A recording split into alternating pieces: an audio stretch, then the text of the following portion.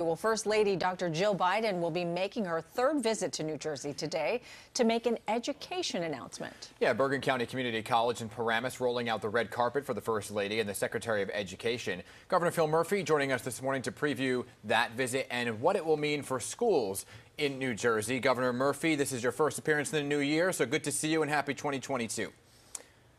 Good to see both of you. Thanks for having me back. Uh, Governor, so let's begin with this big um, appearance today over in, in uh, Bergen County. Education Secretary Miguel Cardona, right, announcing $122 billion, Governor, in federal funding to help schools remain open during the pandemic. So important here. So, are schools in New Jersey slated to get some of that money, and how much?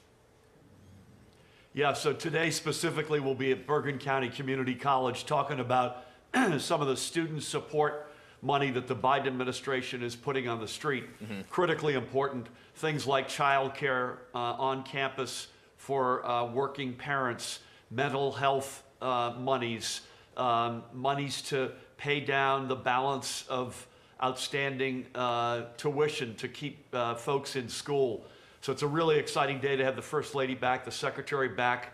Uh, and yes, there, there is money at all levels of education. Good desperately needed, I might add, to whether it's mental health, whether it's uh, learning loss, whether it's in, it, hard infrastructure investments in our schools. We need it, and we welcome the support from the Biden administration. And an exciting day for you yesterday as well. Tuesday marked the beginning of your historic second term in office. A belated congratulations to you. And, and during your inaugural you. speech, uh, you discussed expanding pre K education. What exactly is that going to look like? And I'm sure uh, your constituents are wondering how much that's going to cost. Yeah, well, we've been to the contrary in terms of cost. The state is picking that up, which is relief for local property taxpayers. That's money that they don't have to put on the street to expand pre-K or to fully fund public education. Uh, but we've we've been expanding it since day one in office, and we have an objective to get to universal pre-K uh, over the next number of years. It's a game changer, as mm-hmm. we all know. Mm-hmm. You know. The money you put into a, a young uh, person's education up front pays dividends uh, throughout their entire life. Yeah. And we are we, we want to hold ourselves up as a national model, and we're on a great journey. Uh, and any federal help there, by the way, accelerates the plans that we already have in place. Yeah, and all of this topic of, of conversation surrounding education comes as we are, of course, talking about schools staying open during COVID, right? And you issued new COVID orders yesterday, Governor, requiring all healthcare workers to be fully vaccinated and then get their booster shots. And if they don't, they actually face termination, right? So, so I guess the question for, for many is why do it now when the numbers are on the decline, which is a which is a great thing, by the way, that we're seeing.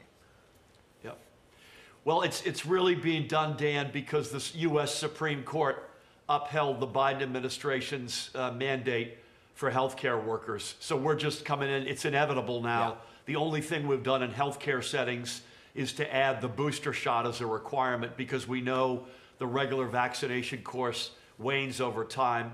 And then we've added the congregate living uh, uh, facilities, whether it's corrections, whether it's adult uh, disability homes, whatever it might be, where we know there are vulnerable communities to this virus. So we've really taken our cue from where the U.S. Supreme Court uh, landed last week. But are you doing away with the optional testing for those healthcare workers? I'm, so, are you I'm sorry, doing away? Are you doing away with the testing option for those healthcare workers? We are. And, but, but that's also the Supreme Court, the U.S. Supreme yeah. Court's um, conclusion as well. And we're going to do this in a responsible way over right. a number of weeks here. We're not going to, you're not going to wake up tomorrow morning mm-hmm. and find that this is the reality, but we're going to phase this in in a responsible way. Uh, and, uh, and again, I, I, if it's the right thing to do, particularly in healthcare settings, whether it's a hospital or long term care, uh, we know folks are vulnerable in those settings, and this, God willing, will make us even healthier. You know, Governor, I had, um, had your health commissioner, Judy Persichilli, on my Sunday morning show, and we discussed the, uh, the topic of masks, what kind of masks to wear. Do you foresee sometime in 2022, because it is a great sign that the numbers are going down, they're still high, but they are trending down, that we might see no masks in a school setting within sometime this school year? Yes, I think there's a real shot of that. Um, I, I really do. Um, so fingers crossed. Uh, I don't mean this calendar year. You're, you're speaking about the school year that ends in June. I think there's a real shot of that. we're early days in terms of turning the corner, but it certainly looks like we've begun to turn the corner here. God willing, Yeah. we keep that progress up. Hopefully, we get some weather that's more hospitable. We can live Yeah. a little bit more of our lives outside. Right. Uh, but I do foresee there's a real shot at that. Governor, we also want to touch on something you spoke about yesterday, uh, your support of the marijuana industry in New Jersey. You know, 70% of municipalities across the state, they're, they're opting out of the cannabis industry. And how do you feel about that? It's like you're facing an uphill battle with that. Yeah, the good news about New Jersey is we're the ultimate home rule state. So if 70% of our communities opt out, there are still at least 150 other communities in the state, Right. up and down the state, that are open minded to or supportive.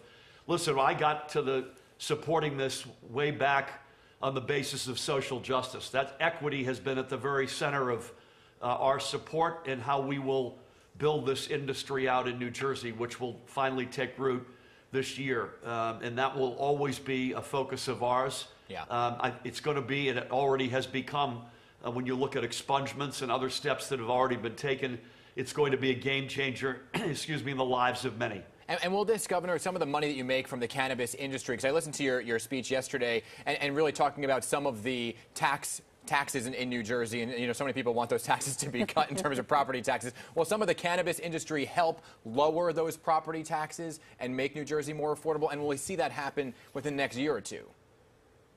Yeah, I think it'll start off as a fairly low revenue source for the state, but it should build into a multi hundred million dollar source of revenue. Um, I think our prime focus, Dan, is going to be, as we've committed to, is taking the, the, those monies either directly or indirectly and putting them back into the communities that have been ravaged by the war on drugs, which are overwhelmingly black and brown communities. As a more general matter, um, I'm proud to say that we've got our first four years are four of the lowest ever in terms of property tax increases. We've delivered 14 tax cuts to the middle class and seniors, but we need to do more. Right. We want to not just have small increases, we want them to go down, and we're committed to that. Now, you know, Governor, uh, some political pundits say that your inaugural speech sounded kind of like uh, you might be heading towards a possible run for the presidency, even though you've said in the past that you weren't headed in that direction. Any chance you might have changed your mind? I know you love the pundits. No, no change of mind.